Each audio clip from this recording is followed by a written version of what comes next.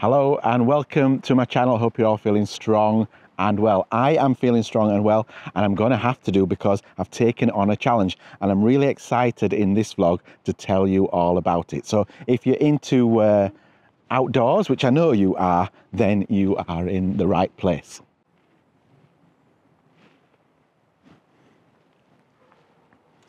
Do you remember about three years ago when I tackled the West Highland Way? Well, it was me and my lass that tackled it, and we did it. We really enjoyed it. Yeah, three years ago, exploring the Highlands of Scotland, of course, and uh, it was absolutely glorious. Met so many wonderful people, and the scenery was to die for. And since then, um, me and Sheila have been itching to do another challenge, and you know what? I think we've found it.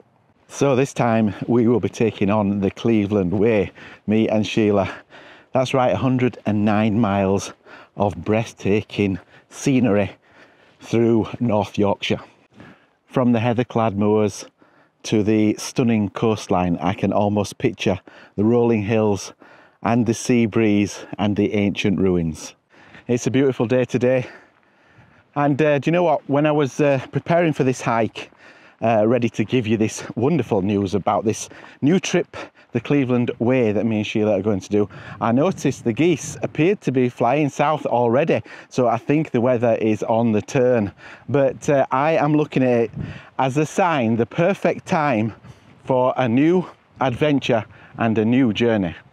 So me and Sheila will be stopping at uh, a B&B hostel um, one of these little pods, all sorts of stuff we've got planned, but uh, we won't be sort of carrying any camping gear.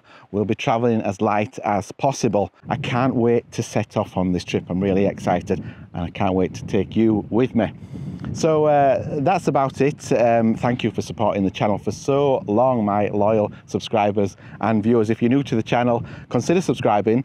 Um, I upload vlogs about once a month uh, sometimes a little stories. Well, it's just about me wandering around really.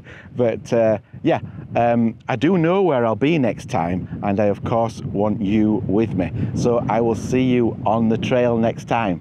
Bye.